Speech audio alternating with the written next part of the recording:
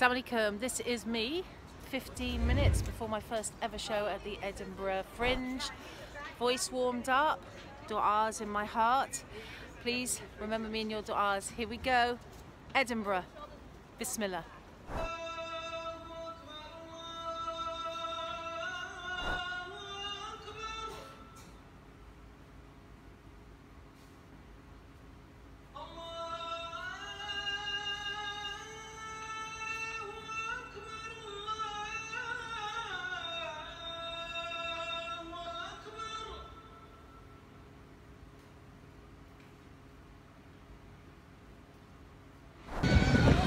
Assalamualaikum. So, my show opened today, Accidentally Muslim, and uh, I decided I'd better do something while I'm awake rather than on bed falling asleep, right? So you get to see some of the uh, Edinburgh Festival as well. Beautiful bus bubbles there in the background, mashallah. Kids are out today. It's been, uh, yeah, it's been an amazing opening by the grace of Allah. Uh, the Muslim community, you know what, they really turned out for me today. I'm very grateful. I'd like to give a big shout to uh, the uh, Edinburgh Mosque and uh, the Women's Association because you know we talk a lot about the Muslim community, the Muslim community, but when we're there for each other, it really feels like there's an ummah. And today I know that a lot of the shows, the show before me had nobody in, so that's that's when you just have to go on marketing, right? And they're like, good luck with the show. This is called Suicide Wednesday, by the way, in terms of how people get crowds. And my show, by the grace of Allah, because the Muslim community wanted to see this as a success for them to expand the work, um, was almost half full. So, you know, it gave me a real boost. So I want to thank Allah for that, and uh, and thanks to the Edinburgh community. Um, there is a, a bonus I've noticed to walking around hijab here and uh, there's many bonuses but, but a specific one is you get flyered to death so people handing out come and see my show. If you're in hijab and you go and so you don't you can just walk around like anonymously and nobody bothers you. So I know I, I, note to self is be smiley. You know me as a smiley person right? Alhamdulillah but sometimes that look in hijab hijabi bonus number one I think there's going to be more of those. So the crowd here is super friendly alhamdulillah um, prayed my tahajjud this morning by the grace of Allah. You know when you when you really need to know that something's going to be a success. Whoa! I'm in bubble land. uh, then you do your tahajjud, and it's so ridiculous. We don't do it every day, right? But uh, I did it last night. Alhamdulillah, I felt great. And uh, just being one of the people who prays, such a blessing. It's such a blessing. Bubbles and. And today on stage I was talking about Gaza. I just burst into tears. Just literally I could see Gaza in the distance and just really made me cry. Look at this wind tunnel hijab. Should I turn the other way? There you go. So that went against the grain. I was really, it, it's, the show is a lot about Gaza.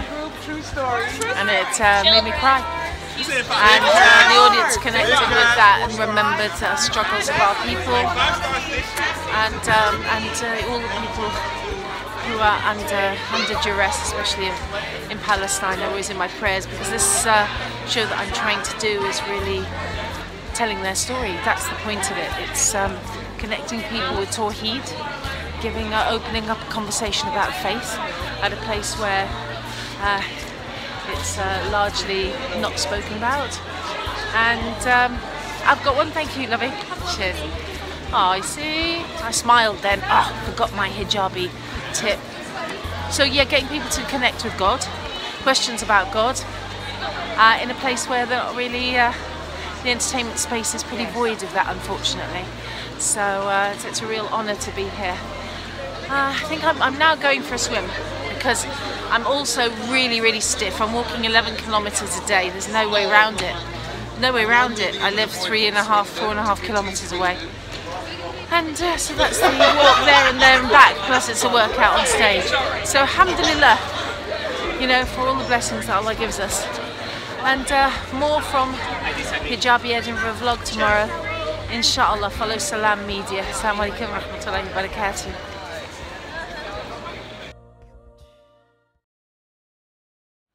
This is what it's like before you go into a venue. This is how the glamour of, of theatre at the Fringe. Hi, how you doing? What's your name? You alright? Yeah, nice to see you, Ross. There are like tiny little venues. So mine's got 106, but opposite here, where Ross has gone in, there's a venue of about 15. It's so cute. And this is Tom. Say hi to Tom. Hello. All right, so we've got 44 people booked today. This is a happening thing. Accidentally Muslim, deliberately at the Fringe. Salam. This is the sound of the audience leaving. Let's have a listen.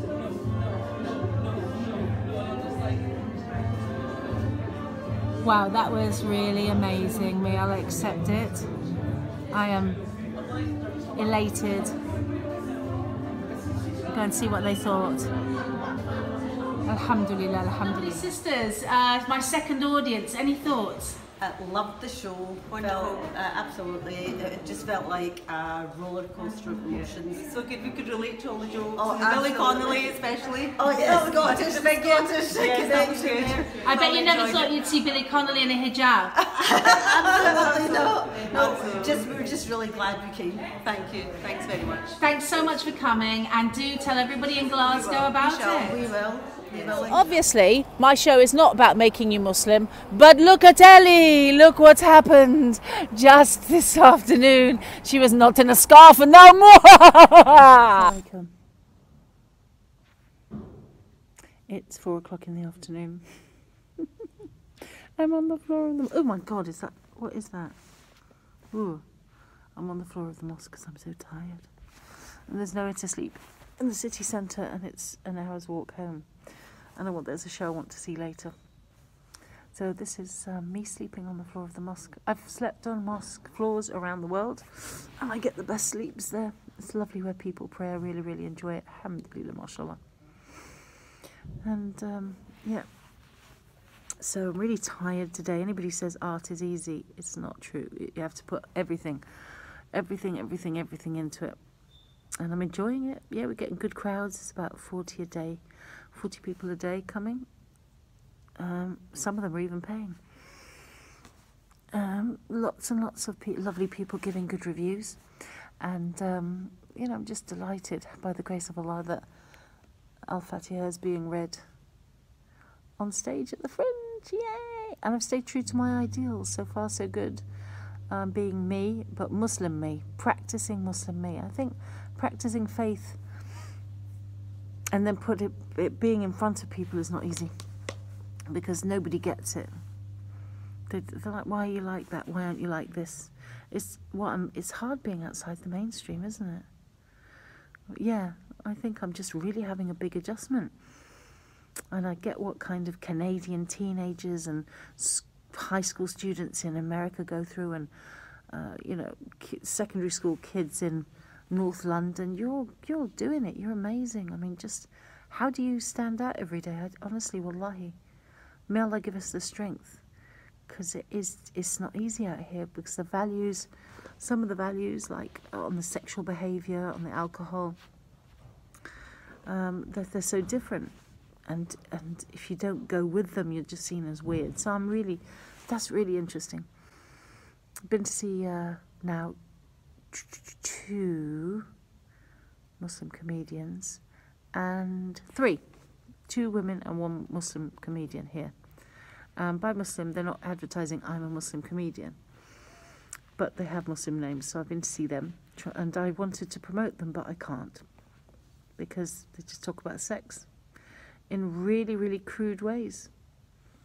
And, and I just wonder, do, do you feel you have to do that? Because the, the actual two of them at least had some good content in their shows. Honestly, they were pretty good, interesting stories. Good premise, not bad, well carried out, good character, interesting characters. But then it just goes like down this really predictable cesspit of sex talk, and um, you know, so you just end up going and wishing we weren't there. Hmm, I guess, yeah. It's like it really is that faith does not go outside the mosque these days. I think that's it. If you're in a if you're in a mainstream workplace, leave your faith outside. If you're in school, university, college. Don't talk about it. Don't be different. Just go along for the ride. Just say yes. Maybe go off and do your own things. But it's like it is really, really difficult, isn't it? Entering the conversation. That's what I'm finding. So I'm a bit tired. So I'm gonna have a nap. Short one today.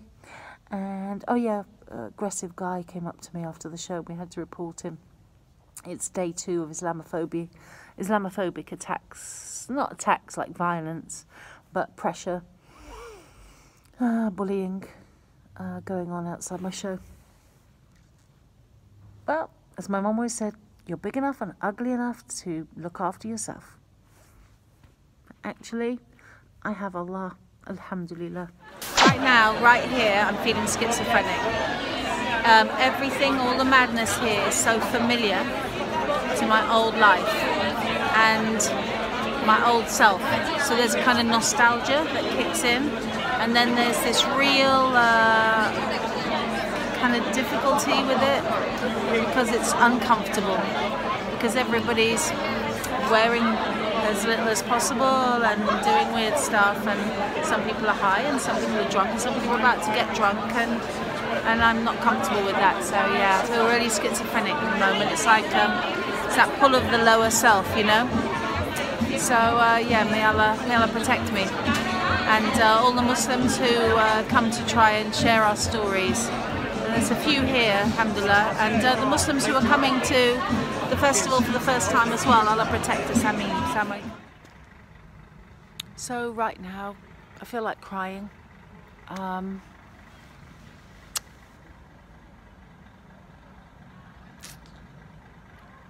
I'm just uh, going to get a lift home. I made a mistake. I went to see uh, a female Asian comedian and the stuff was disgusting.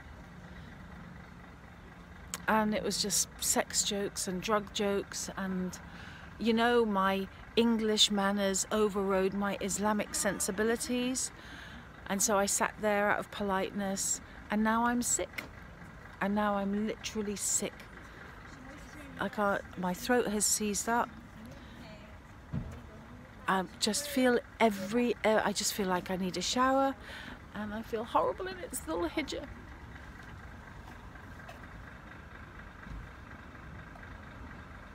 And I'm only sending this out because it's ridiculous. Look at the building instead. Look at the nice building. okay. Maybe, um, maybe, I don't know. Maybe this is just middle-aged lady who is really, really tired. I'm going to put it down to that. But all I can say is, you know, when you step into somewhere and you go into a zone and it and it feels wrong, get out of it. Allah gives us these sensibilities for a reason. And I said this is going to be testing. And there are places to go and not to go. And there are good places in cities and there are bad places. And don't sit through that stuff because once you get desensitized, you can't tell the difference anymore and I thank Allah. Yeah, how can I say that I'm trying to do something for the sake of Allah and then sit through that?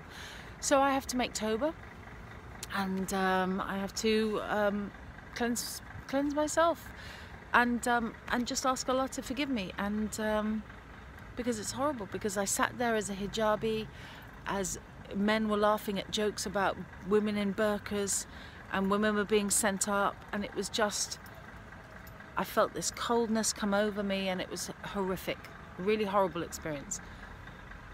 What is the lesson from this? That if you go, that if you go, if you live in that environment, you can become desensitized. That the Holy Quran, Allah Ta'ala tells us, um, and their their deeds will seem uh, good to them. They'll seem normal to them. They'll seem um, good to them. So that the wickedness will seem good. That you that you just cut off from it and I, I don't want to be I don't I ask Allah that we're not cut off from that so have a good evening I hope that I'm well enough to do my show tomorrow inshallah I will be a little bit of self-care